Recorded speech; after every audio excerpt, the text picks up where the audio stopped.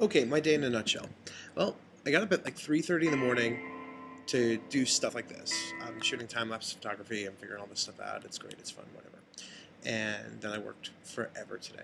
So I got home a little while ago and I started messing around on Facebook because that's kind of what I do when I'm home instead of watching the television, um, anything like that. So I watched around on Facebook for a little while and then I thought to myself, I'm really tired. I'm going to go to bed because I really didn't sleep much last night. So I was going to do that. But then somebody posted on Facebook the words mushroom pizza. I mean, they had mentioned mushroom pizza. They didn't just that wasn't their post, just mushroom pizza. They had made a mention of mushroom pizza. I said, "Wow, that's really good. That sounds wonderful. I haven't eaten much today, so I'm gonna get me a mushroom pizza." So then I got distracted by this great X Men meets Metal video, um, and after I got distracted by that some more, I went on to Grubhub and I decided I was going to order a mushroom pizza. So I filled in my address and I found a pizza place named Bocconcini Pizza, which clearly must be authentic Italian because of the character count in the name. Um, so I found myself a plain pizza for which to customize with mushrooms. So, done. Place my order. I'm excited. I'm going to get a mushroom pizza. Grubhub went and gave me like a little cool screen where they reinforced or whatever the fact that I had ordered a mushroom pizza, which was very nice because I like to know that I really did order my pizza. See, there you go. It's a cheese pizza with mushrooms. So, okay, great. And but then they decided that I clearly needed to know how Grubhub worked. So I, I decided, okay, maybe I'm, I'm okay with that.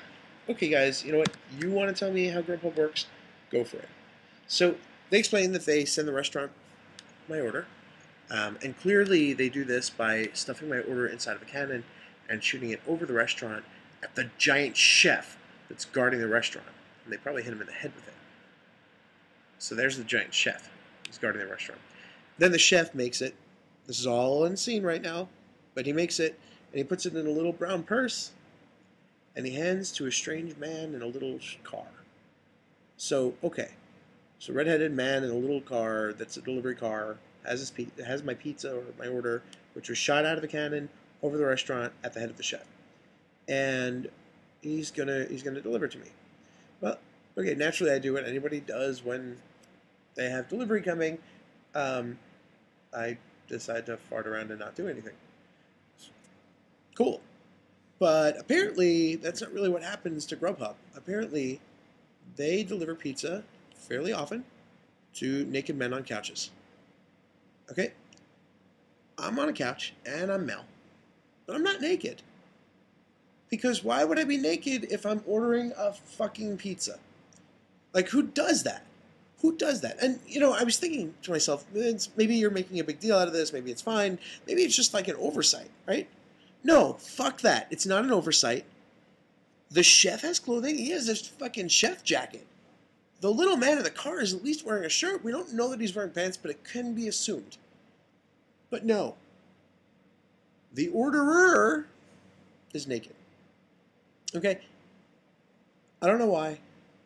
I'm maintaining the fact that I'm not naked. And you know what? If I was naked and I ordered pizza, I'd put on some fucking pants before the guy got here. Wouldn't you? Just think about this. It's madness. Doesn't make any sense.